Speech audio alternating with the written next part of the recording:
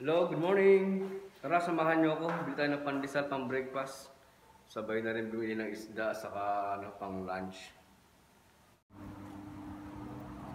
Punta tayo ngayon ng ano, ng supermarket. Bibili tayo ng bangus. Ipapaputokin natin yung bangus. Samahan niyo ako.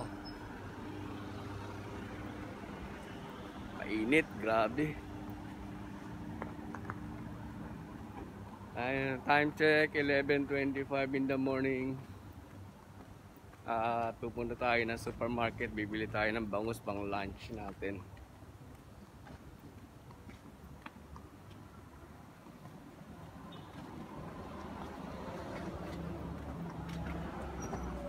Yung iba, ano eh, no, nahihirapan will. Dito mangingisda ako sa supermarket lang.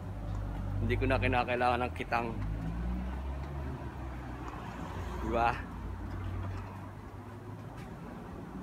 Kaya samahan nyo ako guys ha. Balik ka. Ah, dito tayo ngayon sa supermarket. Dito tayo sa fish section.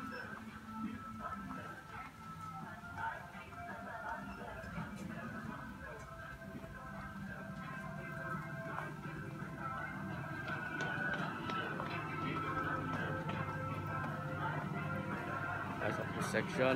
Tayo ng bangus.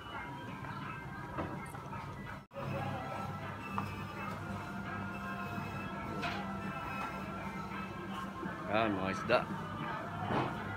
Tayo ng bangus. Yan, dito pag namili ka, libre din ng linis. Makatipas ng igan.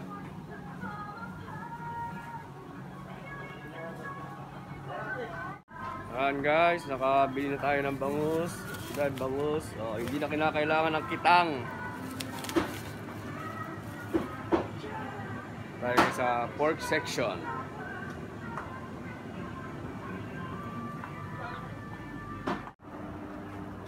Okay, pabalik na tayo. Ayoko magtagal ng gusto sa labas. Gawa ng ah, mainit. So pagkabili ko ng bangus, uwi na kagad. At mamaya piprepare ko to. Pinaputok na bangus.